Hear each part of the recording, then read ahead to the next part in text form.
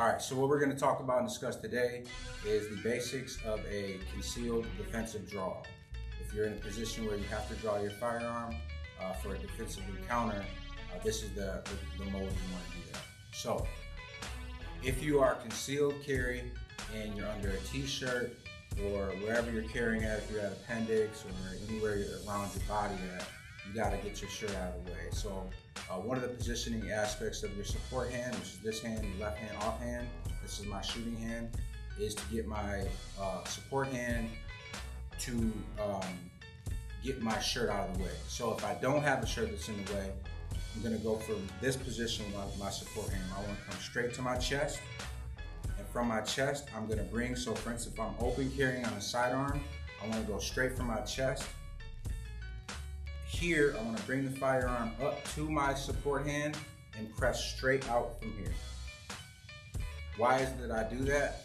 Um, I wanna make sure that when I'm pressing and pulling that out, I'm being able to press right in my line of sight so that I can catch a sight alignment and sight picture in the process of moving away from my chest and out. That's a way of not spending and wasting time um, coming from a position of here, up and out. We don't ever want to take these type of angles. I always talk about in the defensive uh, stance that we always want to be pressing out from the body. Uh, we don't want to be taking tomahawk tomahawk uh, presses, you know, like you'll see this in movies where people will do this type of thing. Uh, we don't want that type of environment, so we always want to be coming straight up, taking right angles.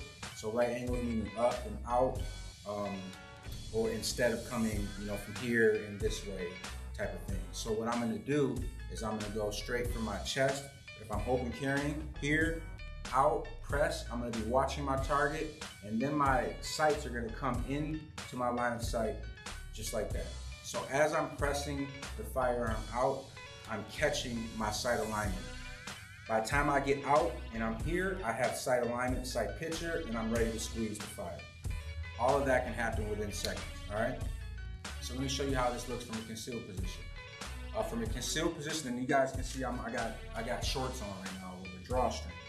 Uh, so this may be a little more difficult this way than if you're wearing a tactical belt or a belt with a harness, or excuse me, with a holster, or whatever the case is. But so I want you all to understand also that this smooth is fast, right? So I don't have to go, you know, real quick to try to make this happen to be quick because ultimately what happens is I'm gonna end up fumbling. I'm gonna get caught up on something. So smooth is fast. Do something smooth.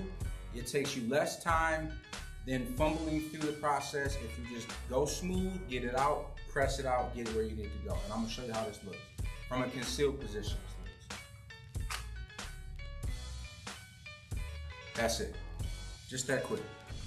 So again, it went fast, but it was smooth. It wasn't like I, I jerked and I did a whole lot to get it out. I just took my time did it correctly and got it out. So here again, I'm gonna show you again. If I'm in a defensive situation,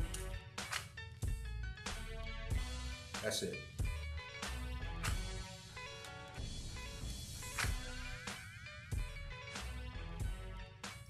Think about a defensive situation you're in. Somebody's this far away from me and I need to get my firearm out and I need to make distance with them right? So say for instance, I'm in a position where I don't want them to grab for my firearm, or if I go to release, they grab this arm, now I'm stuck with my gun on my hip, and they can do whatever they want to my face or about my body, whatever the case is. So how would I might deal with that situation?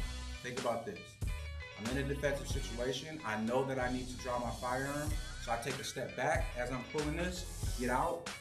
Now I'm in a position that I've made about two feet of separation from that person right there.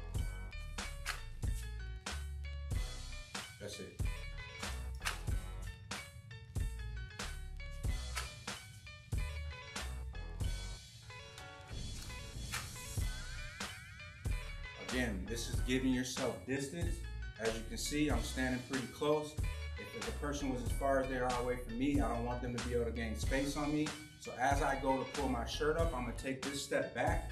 As I go to collect the firearm at my chest range, I'm gonna take the other step back to give myself a good solid base, now I'm ready to go.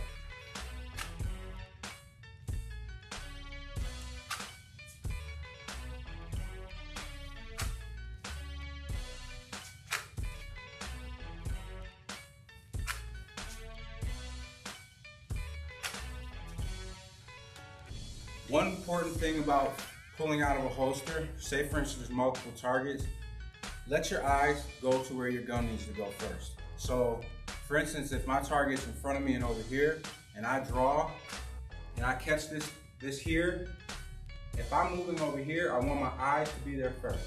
I want to pull my eyes to it and move over. With hand-eye coordination, where your eyes go, your hands will follow. So if I'm here and I need to go over there, I'm gonna move over here with my eyes first, follow my, with my fire. Always support hand to the chest. If you have a shirt you have to remove, pull that shirt up with that left support hand. Keep that hand up there as you're pulling out. You'll get out. Meet that hand up here. Press out from your head, your face here. So when you press out from the face, when you have the firearm up here, where you can grab right here, get inside of it, you're pressing up and walk. The whole time you're pressing out, you're catching sight alignment and sight picture, and now you're on.